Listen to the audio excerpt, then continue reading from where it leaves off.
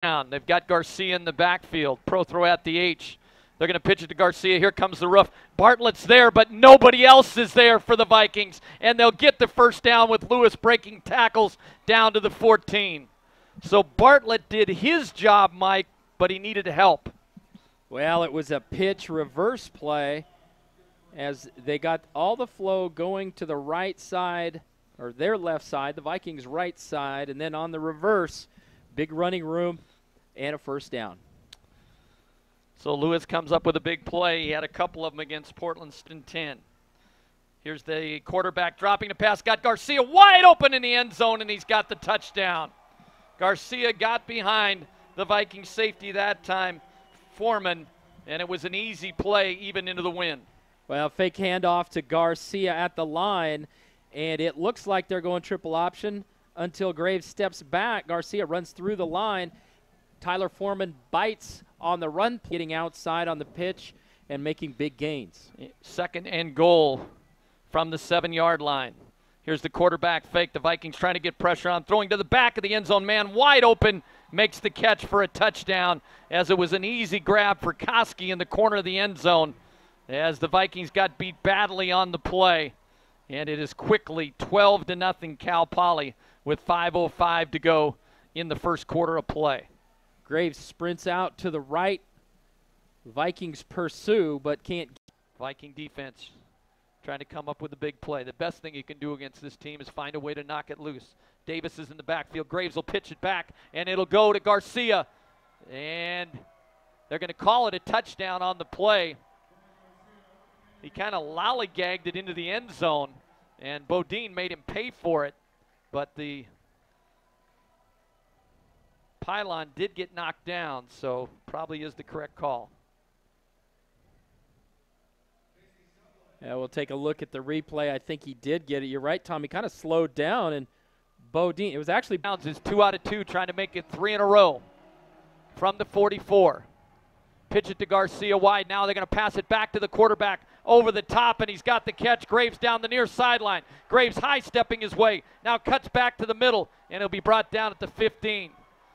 So they go trickery. I knew it was coming at some time with the clock situation. And they come back to Graves. Bartlett was there to make the stop. And the trick play, we saw the Vikings run that earlier this year, pitch play, and then throw it back over the top. We saw the Vikings do it Craft to Kuresa and almost the same amount. Offense to make a play that'll make it a two score lead, or the defense to make a big play that'll make that touchdown even more difficult. Protheroe's in the backfield. He gets the handoff. He's got too much running room and he'll power into the end zone touchdown.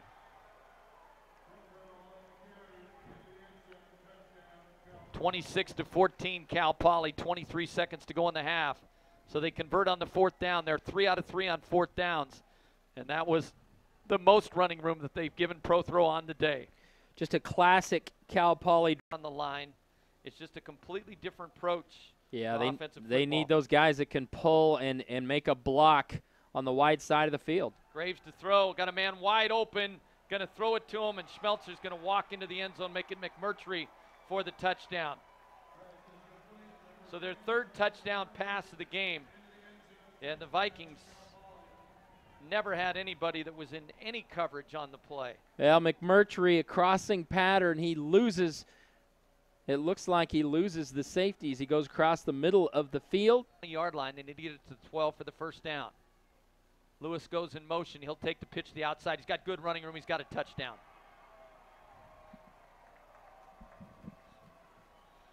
Yeah, they get the block. Kori Garcia, not only is he the top rusher in this game, but he gets the key block there as he seals off the nickelback, Bo Duronslet, and that opens the lane down the sideline. Tell you what, these running backs and receivers, they can block as well. Yeah, they all have good size. Lewis is 210. Going puts you in a second down and five again. Here comes the second and five play. They go to Protheroe again, and he's got big yardage for a first down, breaks a tackle, and he'll waltz into the end zone for a touchdown. 31 yards. The Vikings tried to just shoulder him to the ground, and you can't do that at 221 pounds. and he scores it to make it 47 28. So strong. And again, Tom, you said it, doing a great job of just wearing down the Viking defense. Cal Poly has run 69 plays already in this football game. Protheroe in the backfield, taking a lot of time off the play clock. Now the pitch comes wide. Portland State trying to get there, and they won't get there, and slipping down the sideline and going to go all the way is Kyle Lewis for a touchdown. Lewis on a third and six takes it 71 yards for a touchdown. It looked like the Vikings were going to get there as they had a lot of players in close quarters. We look at the replay. Boy, they strung that play out pretty wide. Kori Garcia, big block in front of the play, and that made the room that Kyle Lewis needed for not the only touchdown. A, not only a block, so the Viking offense hasn't really lacked for much. Kuresa drops to throw, three man rush, sets it up, trying to get it past that. It's going to be picked off on the play. That time he forced it into coverage, trying to get it to Taumapea down the far side, and the defensive back was with him all the way. And he can't really fault the quarterback. Nard made the interception. You're down by 20. And he just left that one a little short, and Yeah. Nard turned right at the right moment to come up with a pick. A little more air under that ball, and it would have been a chance. But yeah, you're right, Tom. Slightly underthrown. Throw that a little deeper. Talmopea, with his size, can probably go up and try to make a play on it. But